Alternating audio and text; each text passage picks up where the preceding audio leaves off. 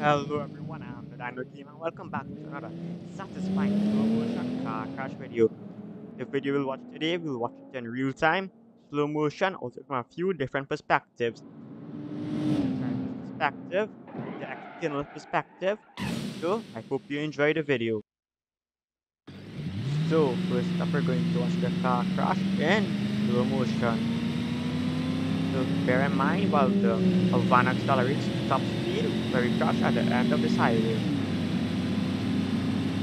Enjoy the visuals from a few different angles, like the external camera which is quite cool. There's also the top camera which is equally as cool. And here we cut across to the opposite end of the highway, sort of like in a police chase. And not too much time, I'll pause and we'll watch the car crash in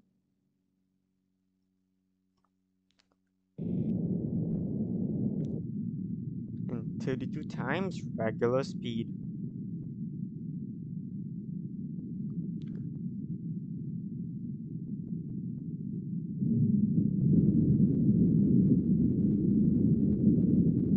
Driving right over the driver's seat in this car crushing whichever driver would have been there. Yikes.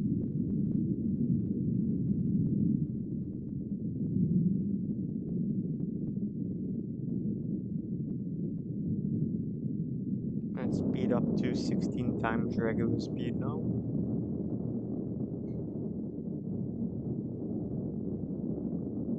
Now to 8.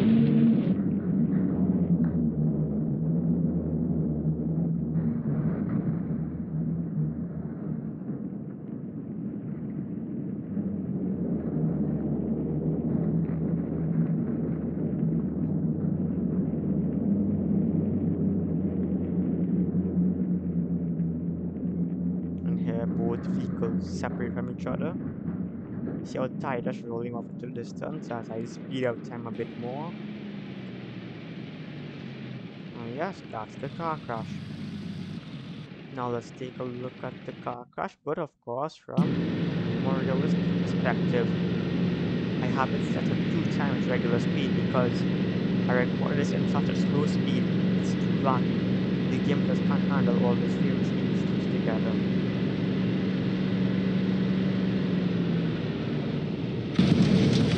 Will still lag, but of course much less as you can see.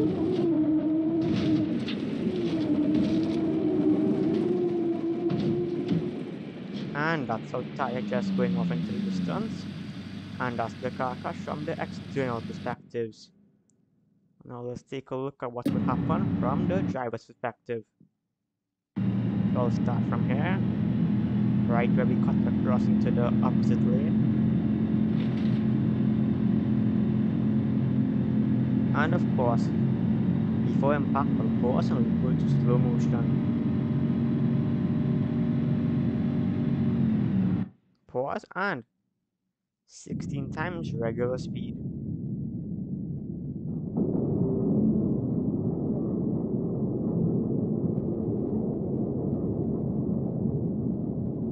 Turning the was sideways actually it's a one that didn't tip over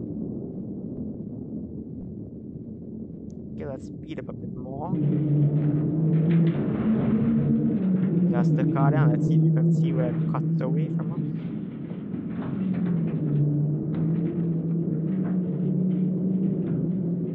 About here. And it actually goes into the opposite end of the highway almost.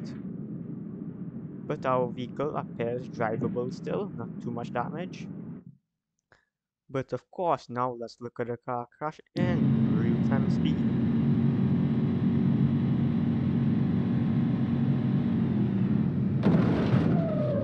This is a line I was talking about, which should not be present. I'll just do this over at two times regular speed for the sake of viewing the action properly.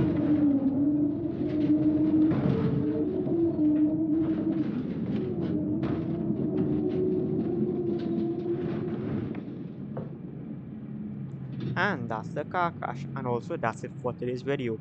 If you enjoyed it, please consider leaving a like, subscribing, And until next time, I'll see you later. So, bye for now.